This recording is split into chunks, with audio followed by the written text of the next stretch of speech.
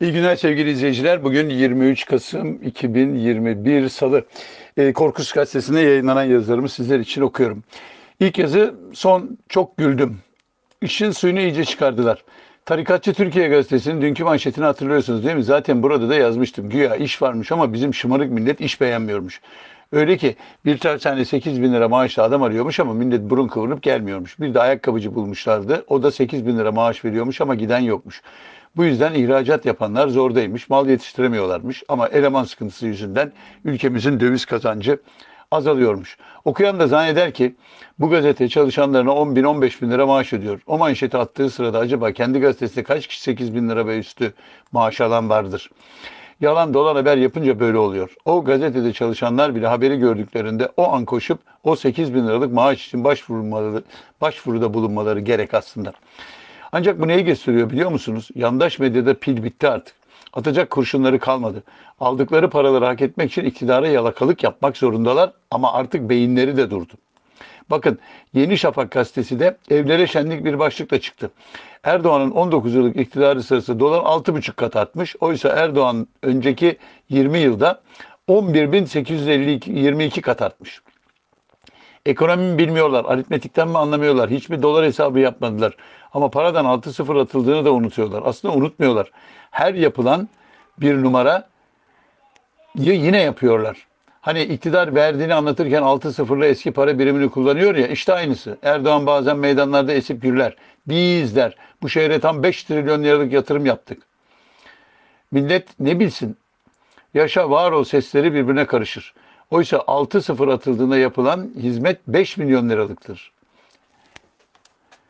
Olsun. Millet o sırada anlamadı ya varsın 5 trilyon sansın. Ayrıca zaten o avuçlarını patlatıncaya kadar alkışlayanların para hesabı bildikleri de yok. Çünkü ceplerinde para yok. Dolardaki 11 bin kat artış da bu hesap işte. Yaşı tutanlar bilir ne olduğunu. 11 Eylül, 12 Eylül darbesinin iktidara taşıdığı Turgut Özal enflasyonla büyüme yolunu seçmişti. Yüksek enflasyon, yüksek döviz kuru ile kalkınma modeli oluşturulmuş ve Türkiye'ye çağ atlatmakla övünmüştü. Ancak bu ekonomik yöntem tıpkı saadet zinciri gibiydi ve sonunda duvara toslamıştı. Şimdi bu iktidar 19 yılda doların 6,5 kat değerlendiğini söylüyor ve eskisi için anormal bir rakam sunuyor kamuoyuna. O halde 6,5'un yanına koyalım 6 tane sıfır. Ne oldu o zaman? İsterseniz daha anlaşılır biçimde anlatayım. Erdoğan geldiğinde dolar 1 milyon 600 bin liraydı. 6 tane sıfır attık. Oldu sana bir onda 6. Şimdi dolar 11 lira. Koyun yanına 6 sıfır. Oldu mu canım? Hem milleti salak yerine koyuyorlar hem de cehaletlerini, çaresizliklerini sergiliyorlar. Yeni öğrendim. Zaten o işte çalışanlar 8 binin üzerinde kazanırmış. Türkiye Tarikat Türkiye isimli Tarikat gazetesinin dünkü manşetini eleştirmiştim dünkü yazımda.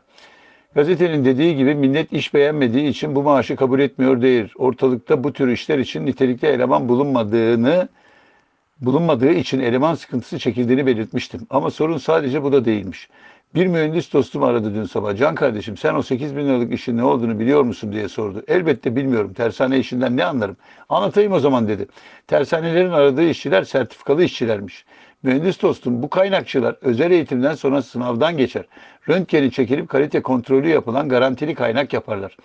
Doğalgaz ana hatlarında sanayi buhar ve kimyasal tesislerinde de çalışırlar. Çok zor koşullar altında yaparlar işlerini dedi. Sonra da bu işçiler bizden bile fazla kazanırlar. Genellikle kaynak başı ücret ile çalışırlar. 8 bin ta, sabit maaşta kaynakçı bulamazsınız. Sallasan kolun mühendise çarpar ama yeteri kadar sertifikalı kaynakçı yok.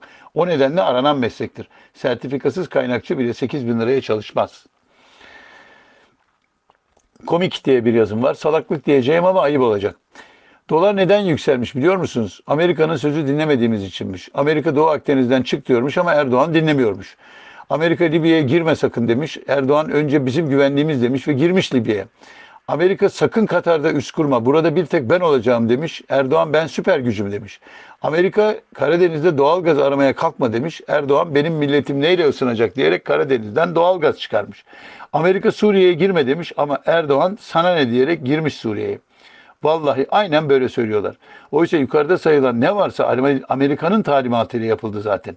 Buna karşı artık iyice çığırından çıkan yandaş medya çaresizlik içinde ne yapacağını bilemez halde çırpınıyor ve birbirinden aptalca, birbirinden komik ekonomik önerilerde bulunuyor. İşte bunlardan biri aynen şunu yazmış. Doğu Akdeniz'den çekiliyoruz açıklaması yaparsak dolar 9,5. Libya'dan çekiliyoruz dersek dolar 9 lira. Katar'dan ve Afrika'dan çekiliyoruz dersek dolar 8.75 lira.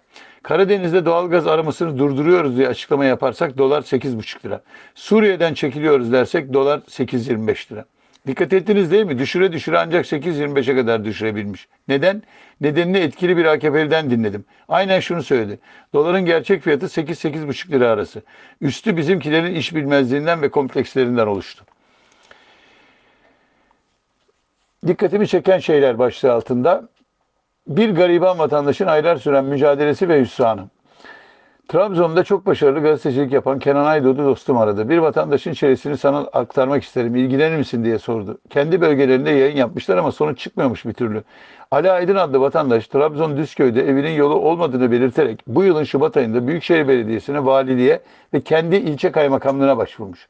Üçü de bu bizim işimiz değil, ilçe belediyesine gidin demişler. Ancak kaymakamlık iyi niyetle çıkıp Düzköy Belediyesi'ne resmi bir yazı da yazmış. Sonuç yok. Bu kez AKP Düzköy ilçe başkanlığına gitmiş. Biraz dinlemişler sonra başlarından savmışlar. Ama gariban vatandaş Ali Aydın yılmamış. Mücadelesini sürdürmüş. Bakmış olmuyor karayollarına gitmiş. Yetkililer buraya çok sık gelme biz seni ararız demişler. Üstelik o kadar yere gitmene de gerek yoktu diye uyarmışlar. Sonuç yine yok. Şimdi bu vatandaş isyan ediyor. Bir vatandaş olarak sorumlu davrandım. Her yere gittim. Dilekçelerimi yazdım, verdim. Ama gariban olunca kimse dönüp yüzüne bakmıyor insanın.